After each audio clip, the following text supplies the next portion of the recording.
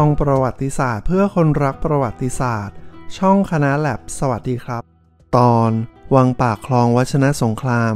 วังของคนธรรมดาสามัญผู้ประกอบคุณงามความดี จนได้รับการสถาปนาขึ้นเป็นเจ้า กับที่มาของชื่อถนนเจ้าฟ้า วังปากคลองวัชนะสงคราม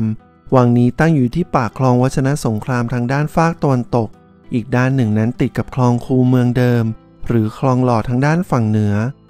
กรมพระราชวังบวรมหาสุรสิงหนาถวังหน้าแนวรัชกาลที่หนึ่งได้โปรดเกล้าโปรดกระหม่อมให้สร้างวังนี้พระราชทานแก่บุคคลสามัญชนคนหนึ่ง คือหม่อมเรืองชาวชนบุรี ซึ่งเป็นทั้งพระสหายสนิท และยังเป็นพี่น้องร่วมสาบานของพระองค์ เมื่อคราวที่พระองค์เสด็จกอบกู้เอกราช ในสมัยเสียกรุงศรีอยุธยาให้แก่พม่าในครั้งที่สอง ซึ่งสมเด็จพระบวรราชเจ้ามหาสุรสิงหนาถได้ยกฐานะของหม่อมเรืองขึ้นเป็นเจ้า แล้วยังโปรดเกล้าโปรดกระหม่อมสถาปนาขึ้นเป็น เจ้าบำเรอภูทรราชนิกูล ให้รับราชการอยู่ในกรมพระราชวังบวรสถานมงคล หรือวังหน้า ในรัชสมัยของรัชกาลที่หนึ่งต่อมาจึงทรงโปรดเกล้าโปรดกระหม่อม สถาปนาให้เป็นกรมหมื่น และเลื่อนขึ้นเป็นกรมขุนสุนทรภูเบศอันเป็นต้นสกุลสุนทรกุลณชนบุรี ซึ่งกรมขุนสุนทรภูเบศได้ประทับอยู่ที่วังปากคลองวัชนะสงครามนี้เป็นเวลาหลายปี แต่ไม่ปรากฏหลักฐานว่าประทับอยู่จนถึงชั้นลูกชั้นหลาน หรือมีการถวายวังคืนแต่อย่างใด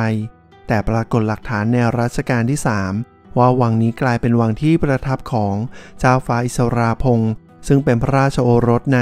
สมเด็จพระบวรราชเจ้ามหาศักดิ์พลเสพซึ่งได้ประทับอยู่จนสิ้นพระชนลง ซึ่งเชื้อสายในเจ้าฟ้าอิสราพงศ์จึงได้เป็นผู้ครอบครองวังปากคลองวัชนะสงครามแห่งนี้สืบทอดต่อมา